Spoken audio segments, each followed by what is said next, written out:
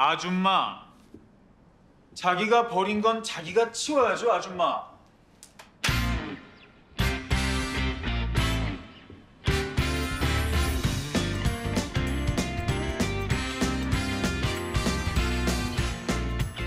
어디 가십니까, 아줌마?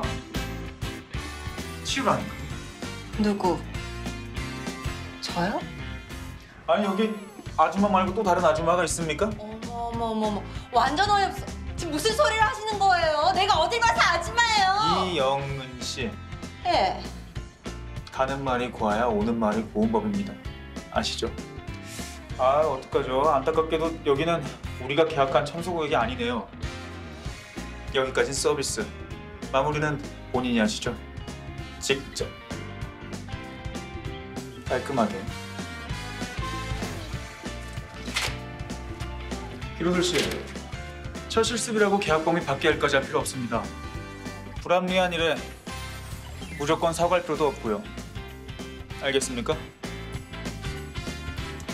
우리는 청소 서비스를 제공하는 회사지 자존심을 굽히고 남에게 허리를 숙이는 회사가 아닙니다.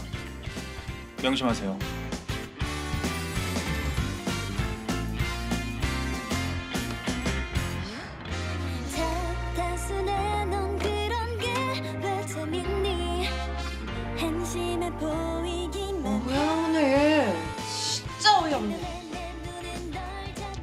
저기 아줌마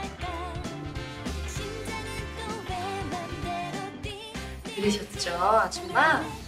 자, 이 걸레는 제가 특별히 빌려드릴게요 다 쓰고 나서 비품실에 가져다 놓으세요 아줌마 알았죠? 그럼 아줌마